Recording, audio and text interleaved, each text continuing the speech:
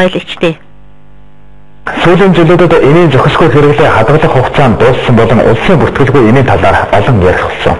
Эдгээр энийг улсын бүртгэл бүртгэх ажлыг эрүүл мэндийн яамаас зохион байгуулж оруулж энэ ажилд тодорхой ахиц гарахгүй байгаа юм. Манай улсын эрүүл мэндийн салбар олонний анхаарлын зүд байдгаараа онцлог салбар. Түүнчлэн жирэмсэн үеийн болон бага насны хүүхдэд өгөхийг хориглосон эмийн талаар иргэд заавал мэдж байх ёстой гэдгийг энэч мэрэгчлэтнүүд зөвлөдгөө.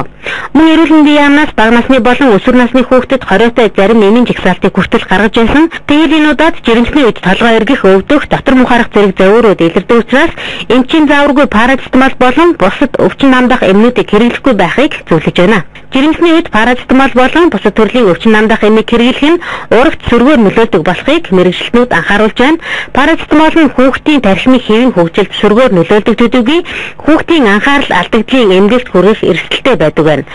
6 хүртэлх сартай жирэмсэн эхчүүд парацетамол энийг хэрэглэх нь хүүхдийн анхаарал алдагдлын эмнэлэгтэй болох магадлалыг 37-оос 50%-аар нэмэгдүүлдэг нь батлагджээ. Үүний зэрэгцээ Дани, Финланд, Францын эрдэмтэд 2000 гаруй жирэмсэн их болон тэдний хүүхдүүдийг хамруулан судалгаа явуулсан байна.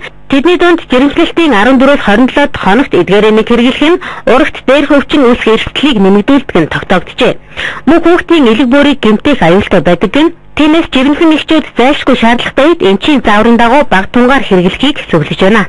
Мэдээлэл сэтгүүлч болжрал дурлаач сугалсуур нар мэдээлэл сонирдуулаа нийгмийн өвчлөг дэмжигч Ройл Ичтэй.